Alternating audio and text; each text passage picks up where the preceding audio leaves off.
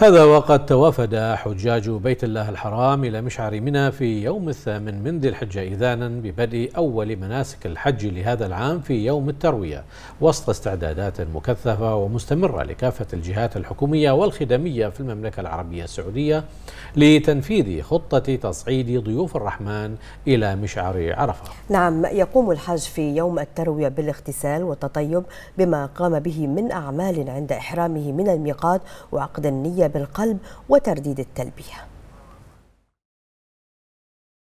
صباح يوم الخميس الثامن من شهر ذي الحجة. صباح اختلف عن كل صباح. توافد فيه الحجاج إلى مشعر منى إذانا ببدء أول مناسك الحج لهذا العام في يوم التروية. مبتهلين وضارعين إلى الله عز وجل أن يتمم عليهم حجهم هذا بيسر وقبول إن شاء الله. بمشاعر روحانية تملأها السكينة والإطمئنان. استقر مليون حاج يوم الثامن من ذي الحجة في منى وسط استعدادات مكثفة ومستمرة لكافة الجهات الحكومية والخدمية في المملكة العربية السعودية لتنفيذ خطة تصعيد ضيوف الرحمن إلى مشعر عرفة. ويعتبر يوم التروية تحديدا يوما يحرم منه المتمتع بالحج.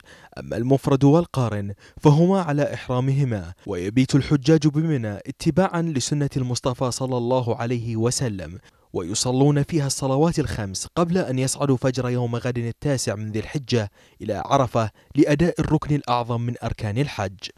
ويقوم الحج في يوم التروية بالاغتسال والتطيب وبما قام به من أعمال عند إحرامه من الميقات وعقد النية بالقلب وترديد التلبية.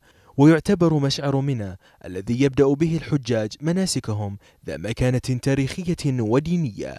فبه رمى نبي الله إبراهيم عليه السلام الجمار وذبح الهدي فداء لإسماعيل عليه السلام ويقع المشعر داخل حدود الحرم بين مكة ومشعر مزدلفة. على بعد سبعة كيلومترات شمال شرقي المسجد الحرام ولا يسكن إلا خلال فترة الحج.